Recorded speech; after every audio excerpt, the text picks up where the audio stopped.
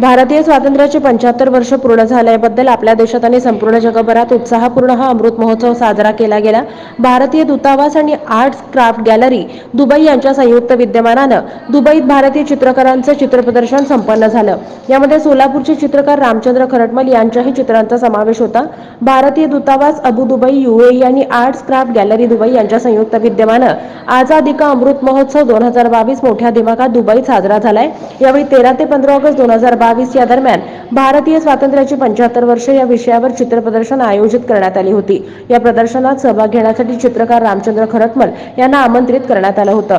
त्यांनी विजय दिवस या विषयावरील चित्र प्रदर्शनासाठी पाठवले होते. एकोणीसशे एकाहत्तर भारत पाक युद्धावर आधारित हे चित्र आहे जो भारताच्या तीनही दलाची शौर्यगाथा सांगणारा आहे.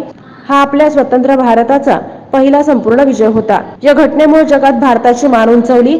जगाला तेव्हा पहिल्यांदा दाखवून दिलं स्वतंत्र भारत काय करू शकतो ते अशा आशयाचं चित्र भारतीय दूतावास अबू दुबई येथे सन्मानानं प्रदर्शित झालंय.